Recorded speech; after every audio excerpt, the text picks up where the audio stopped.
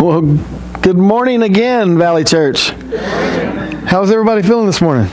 If you're like me, you're really tired. Is anybody tired this morning? If you have kids in band competitions, then you know what one o'clock in the morning means more so than anybody else. Um, but it's awesome and it's wonderful and I love it. So, but all right, now we're here this morning. We're finishing these last two weeks. Is there one more week after this? Yes. Who wrote these sermons anyway? Um, there's one more week of Jonah after this. The series we've been studying is called The Big, the Bad, and the Ugly. And I use that to describe myself most of the time, but this time it was for the big fish, the bad city, and the ugly attitude. And Tony's been keeping me straight because I've been saying them backwards. But so this morning we're talking about the bad city spared.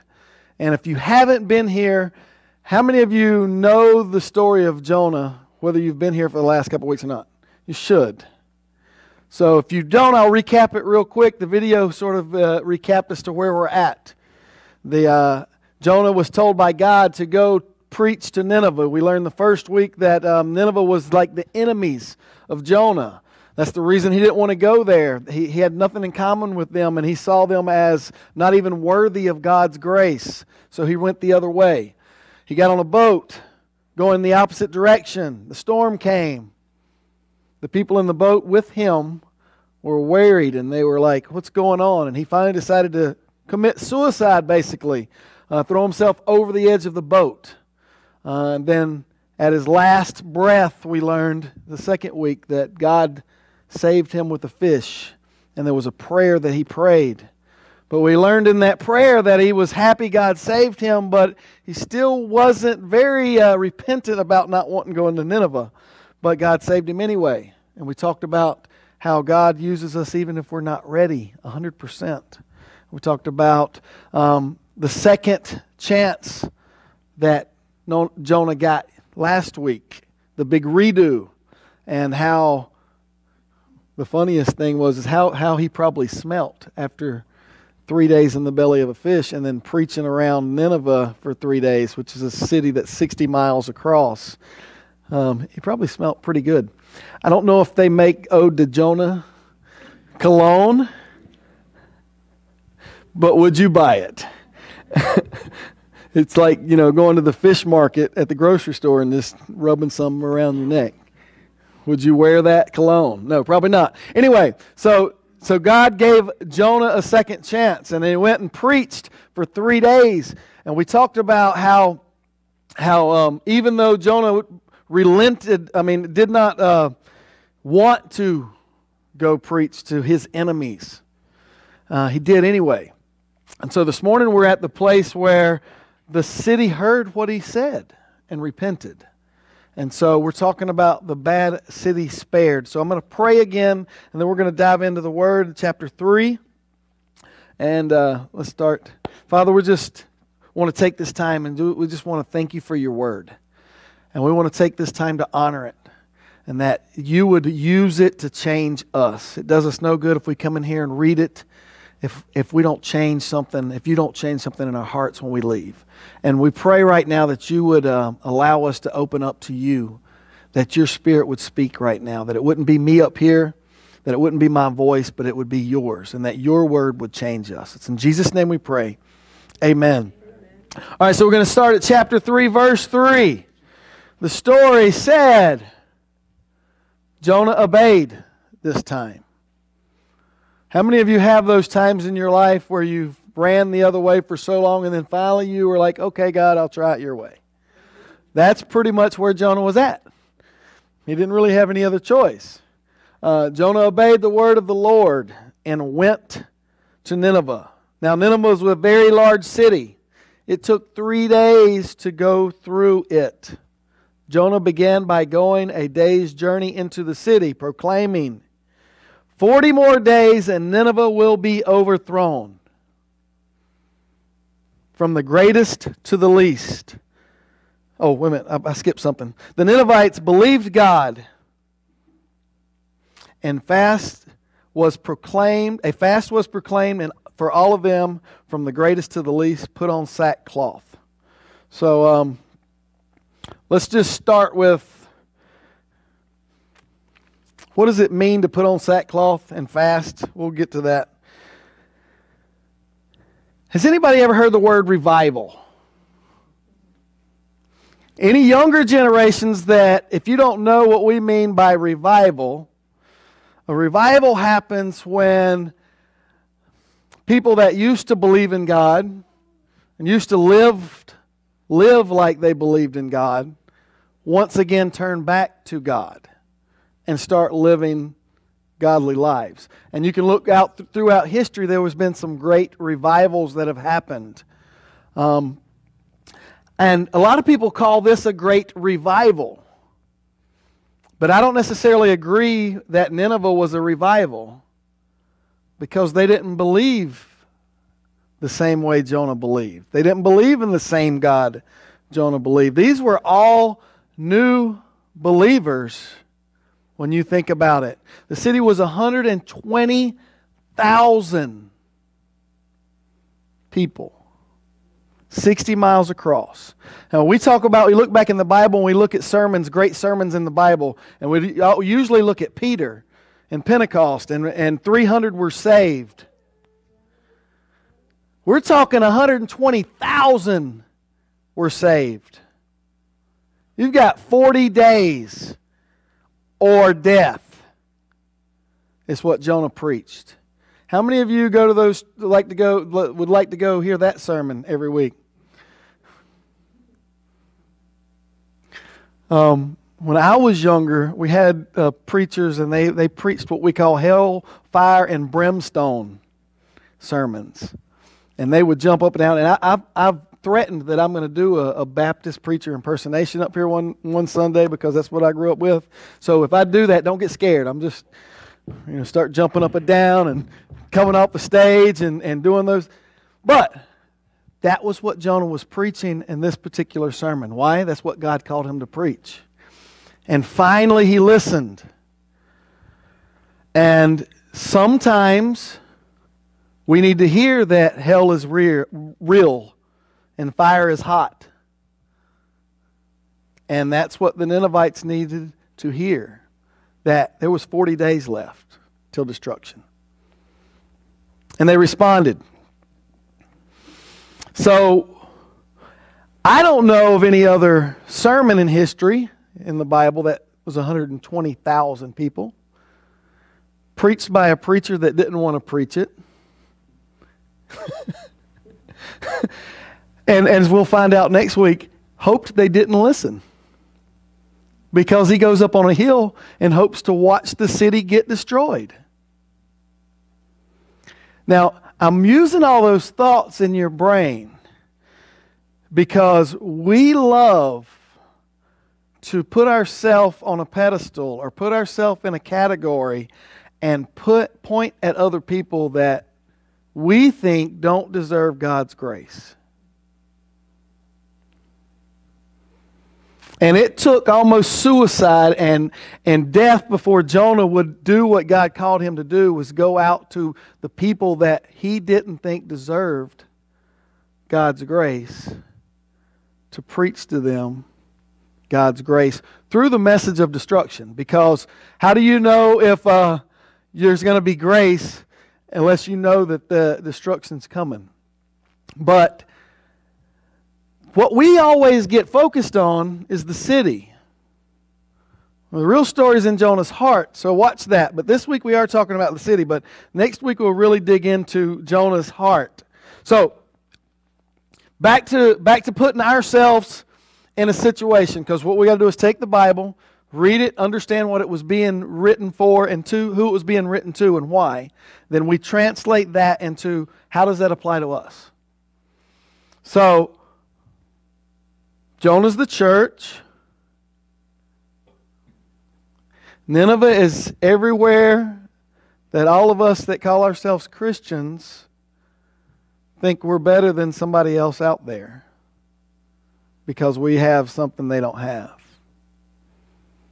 Now you can use yourself and come up with your own categories because uh, we could we could spend all day on that. But everybody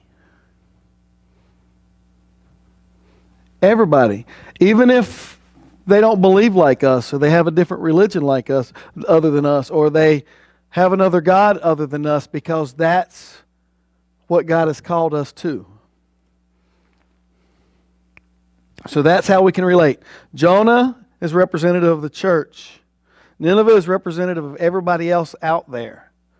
And guess what? God's grace, relentless grace, is that all shall believe. He wants all. So, this morning we're going to talk about ready, willing, and able. These are not friends of mine. These are what we have to be if God's going to use us. So we're going to look at Jonah first, verse 3, 3 through 5. First thing, Jonah was ready to go this time. I'll say this time, when God calls. Now, this time, how many times are you ready to go when God calls? And here's the, I'm going to use another example of Jonah's life and our life. We don't have the backstory of when God called Jonah.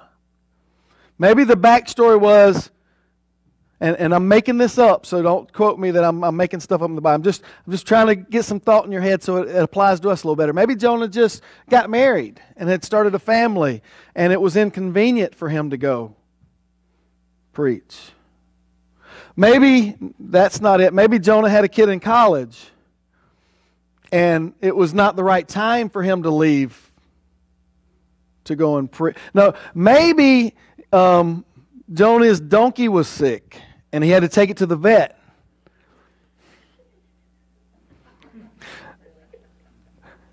Now, that sounds dumb, right? But how many times do we use those types of excuses when God calls us? My cable's out, so I've got to stay at home and wait for the cable guy. I can't go to the gate. I can't go today, Lord. Um, uh, I think I might have a flat tire next week, so I need to go to uh, whatever. Point is being, how many times does God call us the second time or the third time, and then we've got the excuse? We don't know all of what Jonah's excuse was, but maybe it was mostly he didn't like them, but maybe there was something else. You know, it was a birthday party he had to go to, or um, anyway, I'll stop. Um, so Jonah was ready finally the second time. We learned in verse 3 that Jonah obeyed this time. He was ready to go. The next thing Jonah was, he was willing to go this time. Now, how many times have we, and I do this in my life, and so I know it's at least one of us in here that does it. How many times do, do we like, I fail? Oh, Lord. I'm sorry, Lord. Next time I'll be ready. So the next time something happens, then I'm ready. But I'm not quite willing yet. That's going to be a little out of the out of the realm of possibilities for me. I'm, I'm ready, Lord, but can, can we try something different? He was ready, he was willing. Willing to travel three days on foot, smelling like sushi bar. To preach to the people that he hated.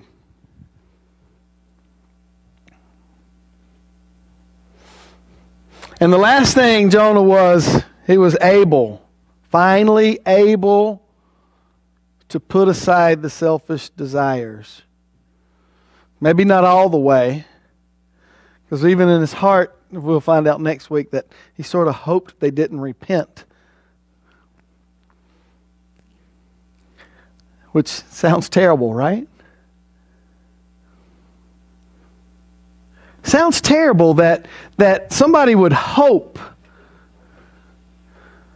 that other people out there would not hear God's message in turn and that they would die in their sin.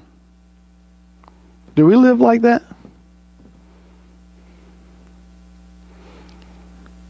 Do we secretly hope that those out there that are our enemies get what they deserve? Man, I hope they get what they deserve. But all the time we're thankful that we got grace and we've been saved. That's the true story here in this passage and, and, and this story about Jonah. That's what God really wants us to see is secretly enjoying our grace, but when we're looking at other people, hoping they get what they deserve. I hope I don't get what I deserve.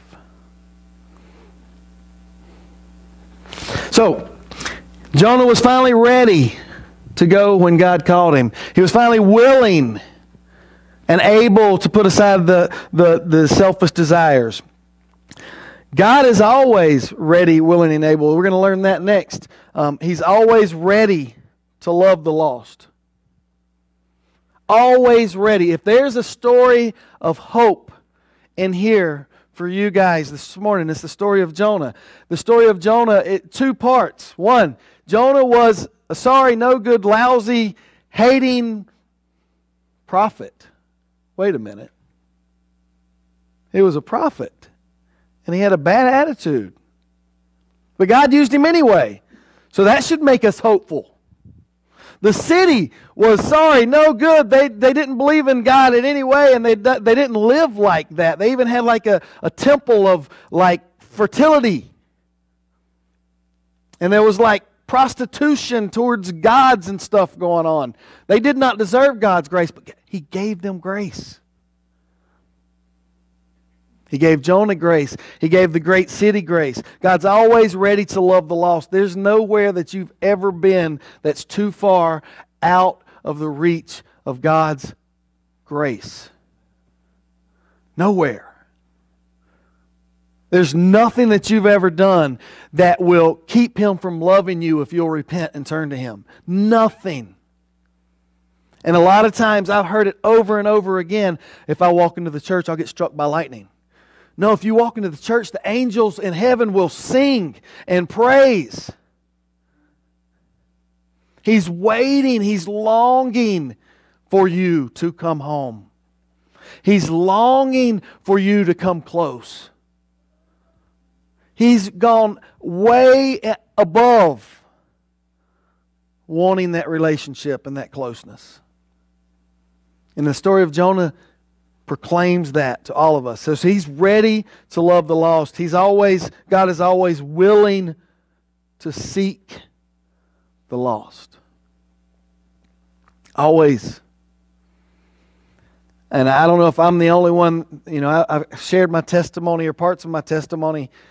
There are times that I look back into my life and I think about where I was in the moment of drug addiction and alcoholism and, and, and so many other things. And I could not picture a God that loved me in that moment in my life. And I don't know how many of you have ever been there. But now when I look back, I see there's so many times that He got me through stuff. Even then. And if I don't feel worthy to be up here, that's why I identify with people like Jonah and Peter. Because they failed and they're not perfect. But God loved them and used them anyway. And that's the same story for each of us in here.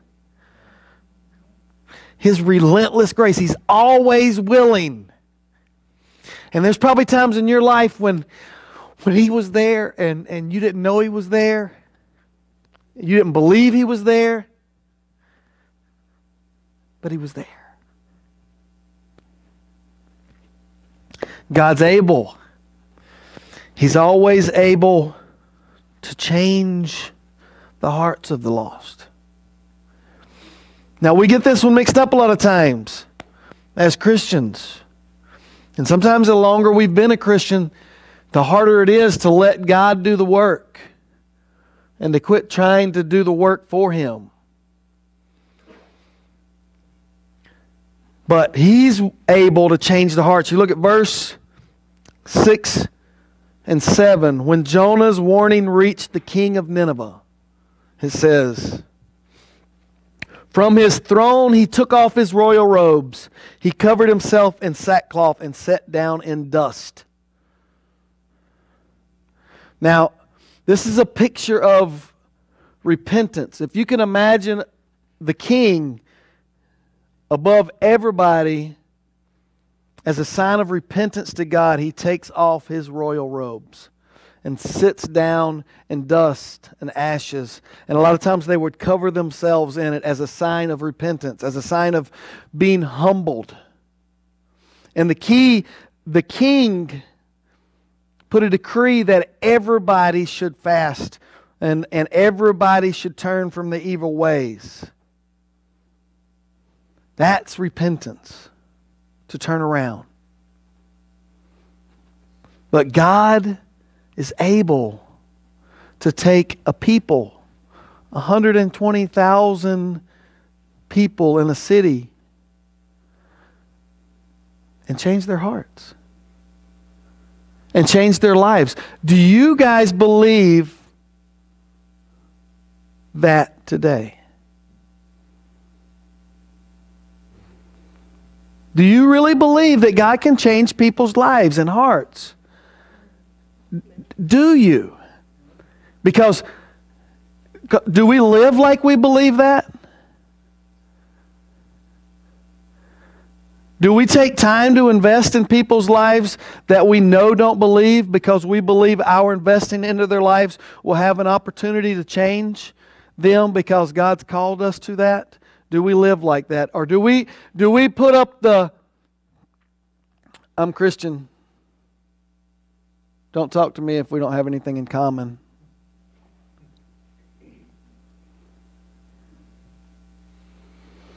Do we put up the wall that says, I'm holier than thou? And anything you say to me, I'm going to fight you on it, and I'm going to be irritating because I'm going to shove it down your throat that it's wrong and it's horrible and And then the Bible tells us to speak the truth in love. Jesus went to every leper. We talked about this a couple of weeks ago. He didn't have to touch the leper to heal them, but in a compassionate way because they hadn't been touched in so long. He touched them. He still lived the truth, he still spoke the truth, but he went and he touched and he had conversations, even to the point of the religious people saying, Why does he eat with those sinners and prostitutes and lepers? All those different people. God is able to change the hearts of the lost. And then we're going to talk about the people who are seeking God's forgiveness and God's grace. They, they have to be ready, willing, and able to. Verse 8 through 10 says, But let the people and the animals be covered in sackcloth. Let everyone call urgently on God. This is the king giving a decree to all of the people. Let them give up their evil ways and their violence. And who knows? It says in verse 9 God may yet relent with compassion and turn from his fierce anger so that we will not perish. I want to look a little bit at somebody that's turning back to God. And then verse 10 says, When God saw what they did and how they turned from their evil ways, he relented and he did not bring them to destruction. He had to the destruction he had threatened.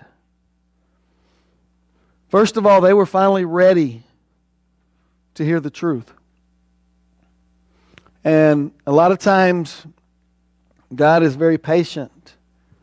With me, He has been very patient because that was well past my 20s before I was ready to hear the truth. And if you use your own relationship with God as a, a guideline to how long it may take you to be in relationship with somebody that doesn't believe in God before they're ready to hear the truth from you, that's a long investment. It's not about shoving the truth down somebody's throat as much as it is about living it. And when people see the difference in you, and I saw you go through that struggle for the last three years, and, and the way you lived and, and the, the faith that you had intrigues me. What is it about you that's different?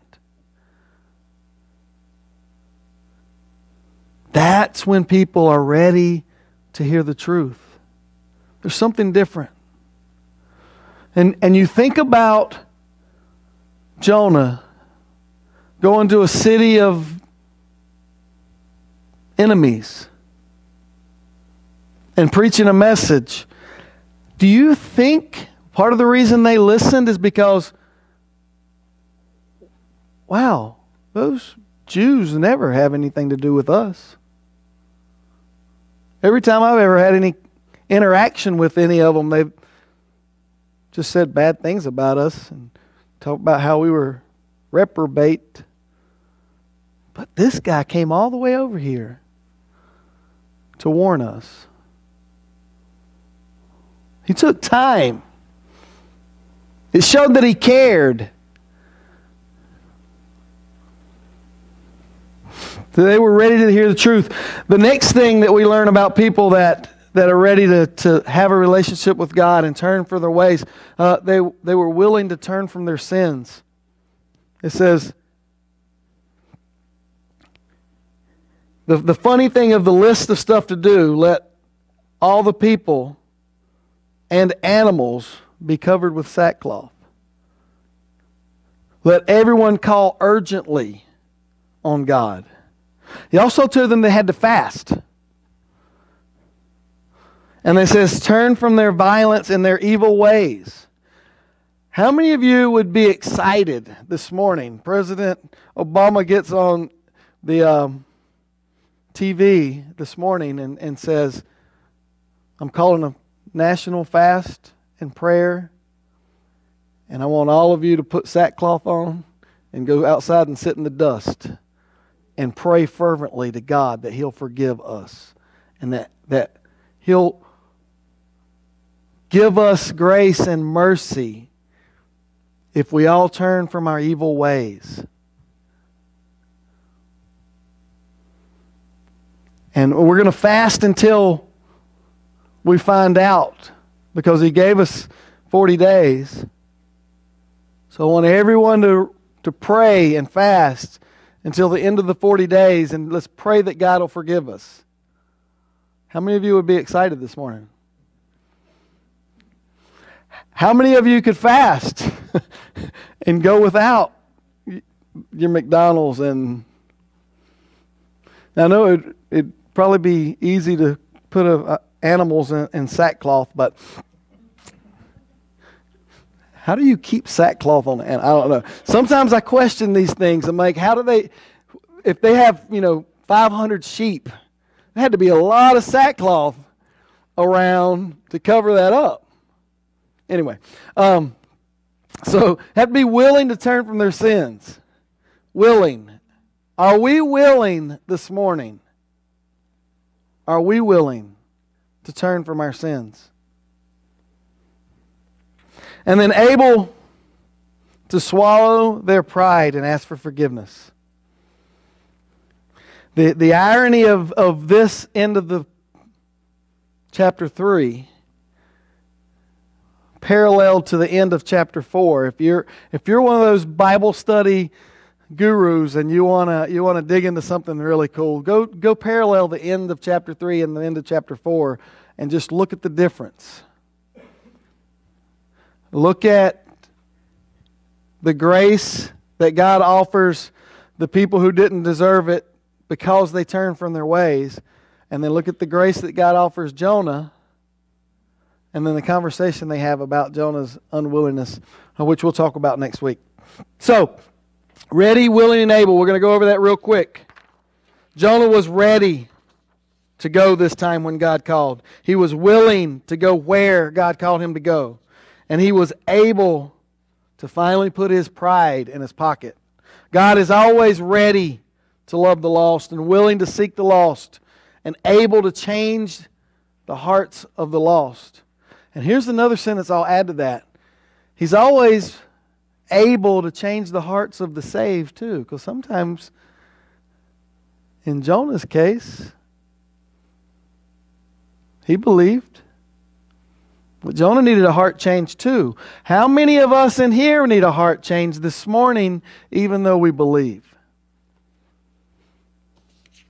So that puts the last ready, willing, and able back on us. We have to be ready to hear the truth. We have to be willing to turn from our sin. And we have to be able to swallow our own pride for forgiveness. Are you ready? Willing? Able? Let's bow our heads. Father, this morning we're grateful for your word again, how it speaks to us and how, how the stories in it um, proclaim to us your grace and your love and your mercy. And, and Lord, this morning we ask that, that you would just keep this in our minds and in our hearts as we go through our days this week. That you are calling us out there to people different than us. And that we have to be ready and willing and able to deliver the message in love and to have a relationship and, and, and to build into the lives of people because that's what you've called us to do and that's what you did when you were here on this planet with us and, and, and that's what you're guiding us through your spirit to continue to do. Lord, we pray this morning that, that you would make us see our hearts and see the amount of forgiveness that you gave us and that you offered us and the amount of love that you offered us and, and make it well up inside of us to the point of overflowing that, that we will have to share it and that we will have to give it out. Because when you're in it, we can't stop it. We believe you can change people's hearts. We believe that you want to use us. We believe that even though we're not perfect and never be perfect, that you want to use us to share your grace and love. It's in Jesus' name we pray. Amen.